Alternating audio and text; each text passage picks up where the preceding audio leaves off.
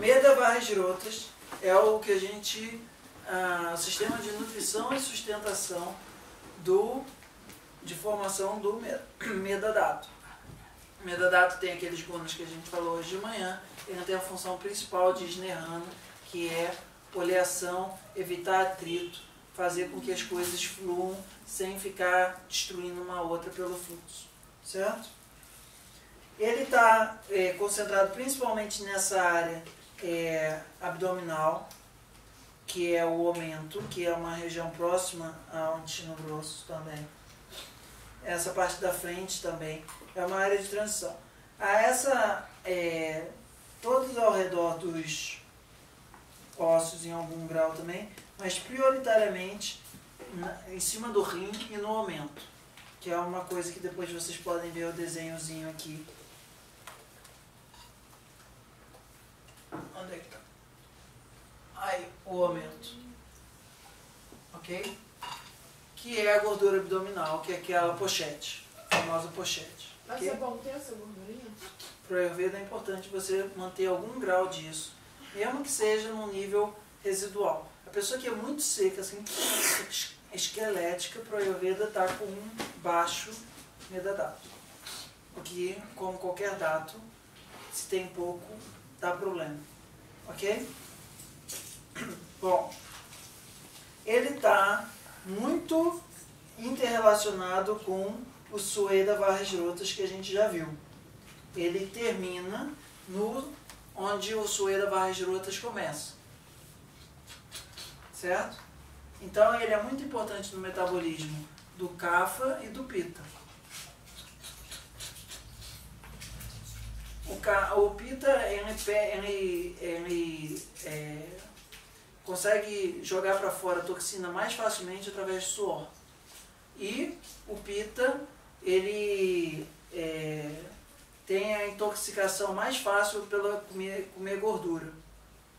Então, o pita que come muita gordura, muita fritura, o suor dele fica rapidamente nojento e fedido. Mas as toxinas são lipossolúveis? Todas as toxinas na Ayurveda, essas autogeradas, são lipo- lipossolúveis. Então é importante ter gordura porque a gordura. Gordura, oleosidade adequada, Sim. certo? Então é importante para poder é, eliminar toxinas com. Não necessariamente. O mais importante na forma de pensar Ayurveda é você evitar ficar formando toxina à toa. Não é do tipo, ah, eu vou comer um, um torresmo aqui fritinho e depois vou ficar tomando chazinho de essa é né? Tipo, É, isso aí. Tá? A ideia é evitar material não bem digerido. É, todos os ah, esteroides anabólicos aumentam a quantidade de gordura no corpo. O, esse esrota ele tem uma, uma capacidade, é, uma raiz de função, de, difícil coordenar o vato agora. Ele tem uma, um funcionamento fisiológico muito relacionado aos rins todos os hormônios que estão sendo produzidos pelas suprarrenais, as glândulas suprarrenais, estão atuando na regulagem desse, é, desse girota, desse sistema fisiológico. As gorduras, elas são moléculas mais arredondadas. Elas vão ter tendência a se acumular em regiões mais arredondadas do nosso corpo. Então, bumbum, culote, virilha, baixo do braço, mama, papo, é, eventualmente batata da perna. Todas as regiões, aí fígado, baço, todas as regiões que são mais circulares, fora o coração, são lugares onde moléculas de gordura vão se acumular mais rápido. Tá? Pessoas com metabolismo mais pita vão acumular gordura do umbigo para cima. Pessoas de metabolismo mais cafo vão acumular mais gordura do umbigo para baixo. Vata depende, como tudo no vata. É, esse aumento é uma extensão do peritônio, que é uma, ah, uma cobertura na região abdominal que está relacionado ao estômago, intestino e é um lugar, esse espaço é o momento onde a gordura começa a acumular. sempre que a gente é, avalia esse sistema é, fisiológico, a gente dá uma olhada como é que está essa região, dá uma olhada como é que está o rim. Se a pessoa tem muita dor nessa região do rim, é um sinal de que esse metabolismo está complicado. E é, as gorduras que são acumuladas de uma maneira mais pita devem ser tratadas de uma, uma gordura diferente da gordura mais cafra. Informação importante, tá? Porque as gorduras mais pitas, elas são geradas a partir a- aquela barriga de chope. Mais homem tem, né? Não só necessariamente homem tem. As, as pessoas com metabolismo mais pita geram esse tipo de barriga. Lá nos Estados Unidos é muito comum você ver mulher com essa barriga de pera. Tá? Mas é o nome técnico para isso. Então, assim, pessoas mais pitas vão acumular gordura nessa região aqui superior, muito um- uns pneusões aqui na região do fígado e da, da, do pâncreas. Isso você tem que cuidar principalmente com coisas que sejam adstringentes, coisas que sejam amargas e uma intensidade máxima. Coisa amarga para valer. As coisas que são mais cafras, as gorduras mais cafras, você vai usar o adstringente amargo, mas você vai usar o picante também. Nessas gorduras daqui, se você usar isso, o negócio vai ficar mal. Porque a pessoa já está quente, cheia de calor. Você vai dar para uma pessoa com esse tipo daqui, um negócio mais acalorado, aquilo dali vai deixar ela ainda mais é, com calor, a gordura já está retendo calor dentro. Aí, por exemplo, uma erva que é desse tipo aí para cuidar de pitenim, é, esse melão de São Caetano, negócio assim super amargo, frio pra cacete. Mas isso vai descolando o tecido adiposo, certo? A do cafa não. Aí do cafa isso já vai ter um metabolismo diferente. Como é que sabe isso? Tem essa questão da localização que é um dos aspectos importantes. Ok? Namastei o relógio. Toque, toque, toque, toque, toque. Agora vamos para como é que a gente é, faz o assessment. Como é que a gente dá uma olhada disso de uma maneira mais prática.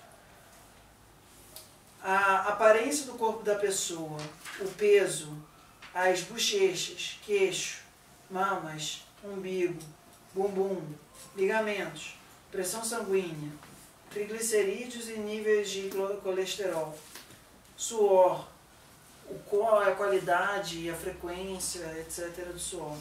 E o que eles chamam de é, teste do beliscão de gordura, que é isso que eu mostrei para vocês antes.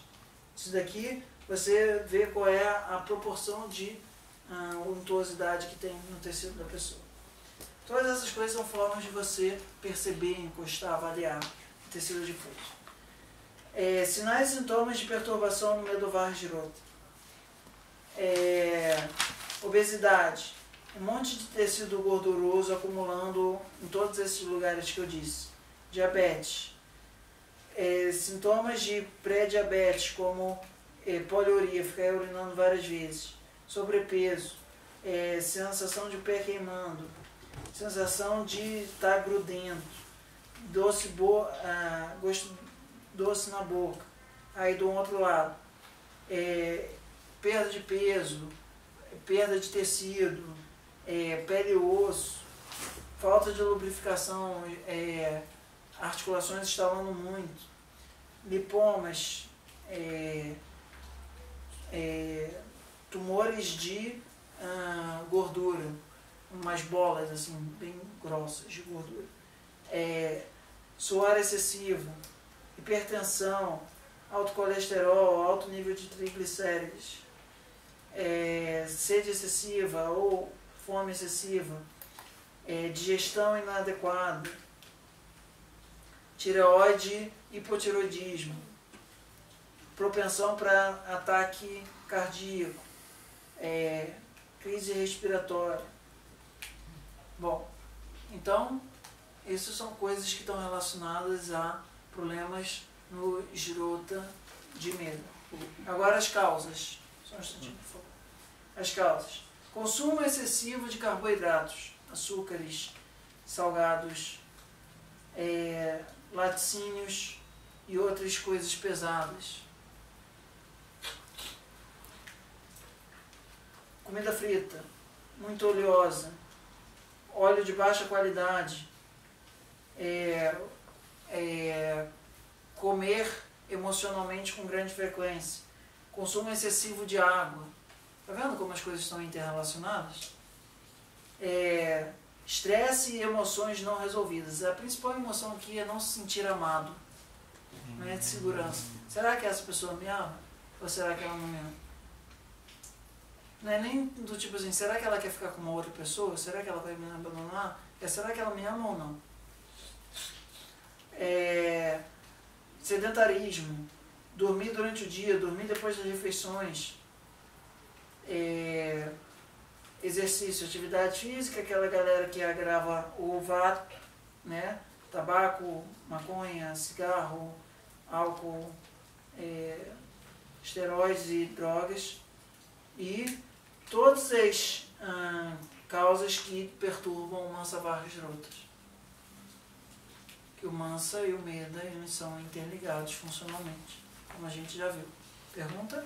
Eu fico na dúvida, porque se você tem um, um sintoma desses, quer dizer que você Está com Tá algum grau, algum leve grau de perturbação ali. tá. Não quer dizer que você está precisando ser internado, internado agora.